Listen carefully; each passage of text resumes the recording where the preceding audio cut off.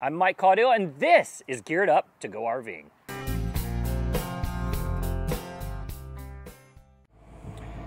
All right, so one of the number one questions I always get about our RV is how to break it down.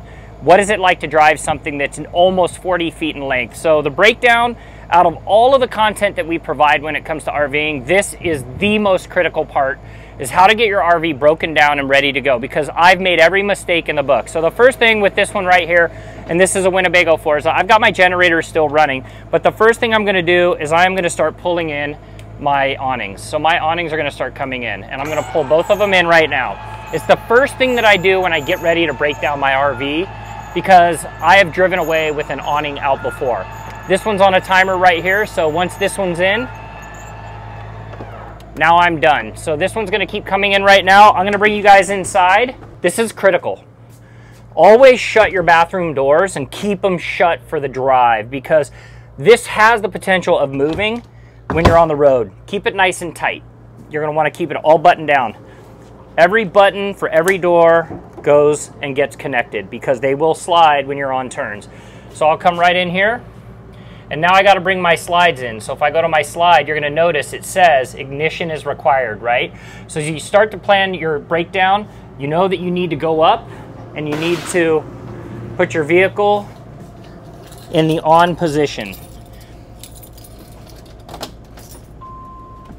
Now I'm started. Now I'm gonna go and I'm gonna bring in the slides.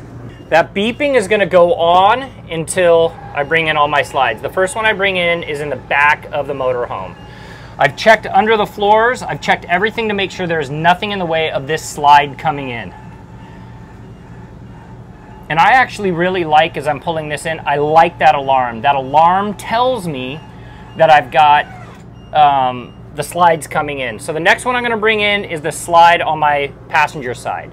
So now this slide, and it's gonna start getting real tight in here for the team that's given us a quick, uh, quick video on this. So you're gonna bring this whole slide in right here on the right. So now if you think about it as I, I rehash, the awnings are now in.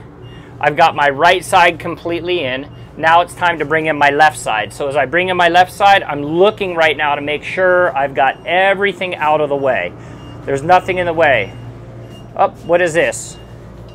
We always sweep everything out on the inside. So now I'll move it to the other side, knowing that I'm getting ready to pull this slide in. Now we bring in this slide.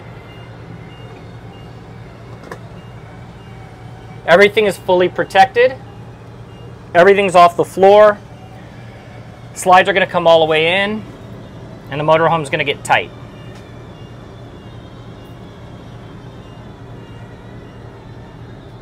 Now before we get ready to go, everything's all in. I check it all. I make sure everything that I need to be put away is put away and nothing is gonna slide. So now that I look at it, now I'm gonna come up here. Now I've got some really interesting things that I have to do.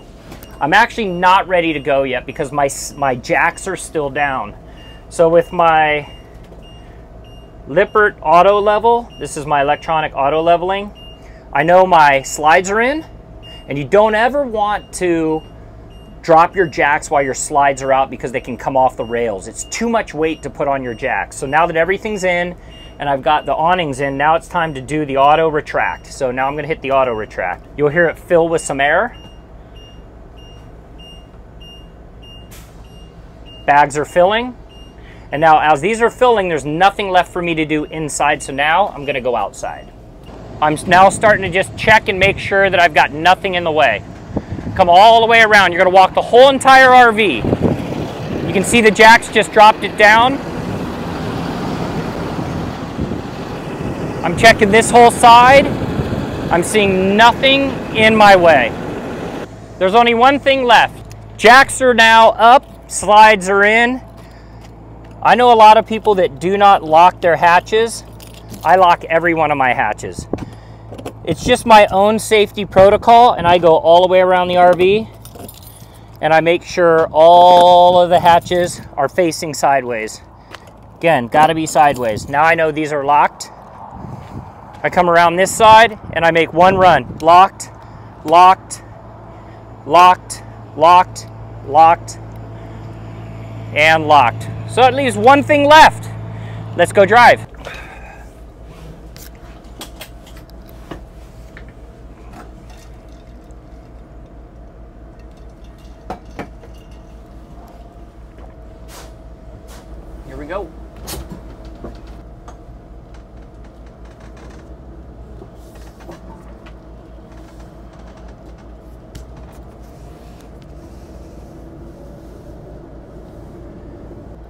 All right, so driving 101.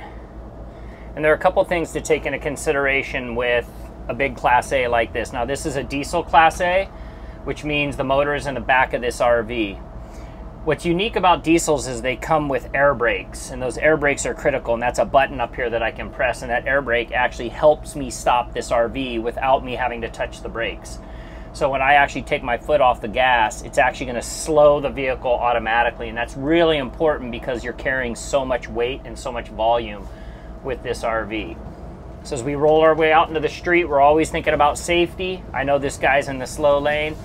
So when you drive this, you're gonna drive it similar to a car, but you gotta know that your width is wider than anything else on the road. You're like a diesel truck, so it's just important to drive comfortably. Now the beauty in a in this big Class A, this Winnebago Forza from Campers Inn, one of my favorite features is actually down here. This pedal actually allows me to adjust my steering wheel while driving. And I can get it in the pancake style, which is up on top. I love this makes it super easy for me. I've got Bluetooth uh, speakers in here, so I've got I've got a Bluetooth head unit in here, and I love that. And it's all touchscreen as well, so I can connect my phone to it. I can actually do phone calls in here, and it broadcasts inside the cab, so it's nice and easy as well. Something to think about when you're driving an RV this big is you always have to think about where you're going to be making your turns at. You have to methodically and strategically plan out how you want to, where you want to turn and how you want to turn because you're moving 40 feet in length.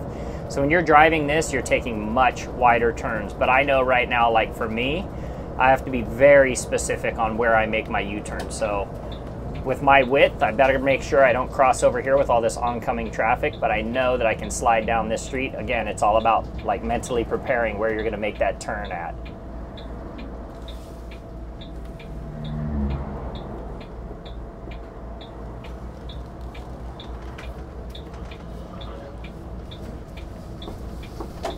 Stares at you in a big RV like this. They're like, man, that dude's coming in a bus.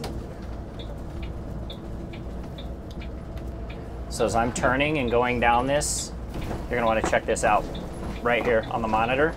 So if I'm turning right, it's gonna show me the right side of the RV. If I'm turning left, it's gonna show me the left side of the RV. That was very cool. So that's a camera mounted in here, and that camera shows you.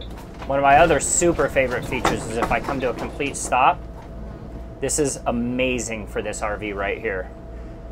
Is that if I come to a complete stop and there's nobody behind me, I put it in neutral and I put it in reverse.